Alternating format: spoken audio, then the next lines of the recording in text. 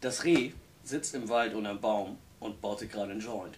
Kommt der Hase vorbeigerannt, bleibt stehen und sagt so, hier Reh, äh, Drogen, Drogen, nee, gar nichts gut, ey. Nicht gut für dich, komm mal lieber mit mir joggen, das ist viel besser.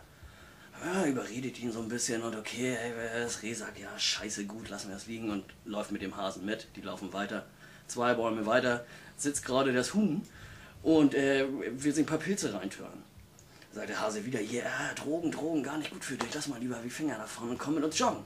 Überredet auch das Huhn, die joggen zu dritt weiter, laufen weiter. Am nächsten Baum sitzt der Bär und will sich gerade eine Leine reinhauen. Sagt der Hase wieder, hier, oh, Bär, Drogen, ey, scheiße, komm, das ist out. Komm lieber mit uns joggen, ey, ist doch total blöd. Und der Bär überlegt kurz und steht auf und haut den Hasen um. Das Huhn und das Reh stehen daneben und sagen, sag mal, Bär, bist du bescheuert? Der will dich hier zum Joggen überreden und du haust ihn einfach platt?